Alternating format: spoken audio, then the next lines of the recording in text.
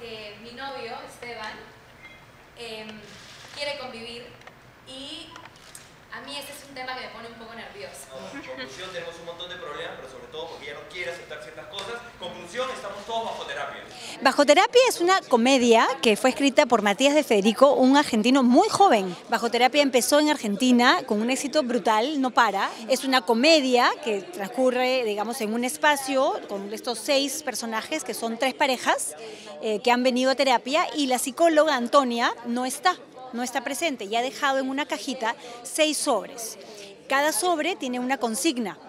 En cada uno de estos sobres, las tres parejas tienen que solucionar entre ellos, sin la ayuda de Antonia, porque no está presente, sus problemas. Nadie vio el accidente, así que no se sabe quién se pasó el semáforo. Pero bueno, Astor es menor de edad, así que la culpa es de o peor aún, nuestra. Una desgracia. Obviamente las parejas se ven muy reflejadas en varios momentos, ¿no? La pareja de Marco y, y Jimena tienen una, una dinámica eh, que, eh, en la cual muchas parejas se van a ver reflejadas. La pareja de Roberto que conformamos este, Bruno y yo, somos una pareja mayor, obviamente, que ya tienen varios años de casados también, pero con un hijo pequeño porque se casaron tarde y necesita venir a terapia porque necesita ayuda para hablar. Ella, por su personalidad, no puede y tiene un hombre dominante al lado y le cuesta muchísimo sacar lo que tiene adentro y le cuesta hablar.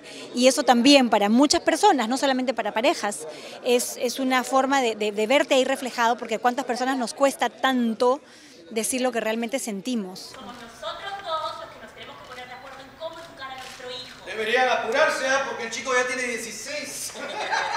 Vamos hasta el 5 de noviembre aquí en el Teatro Mario Vargas Llosa de la Biblioteca Nacional. Vamos jueves, viernes y sábados a las 8 de la noche y los domingos a las 7 de la noche.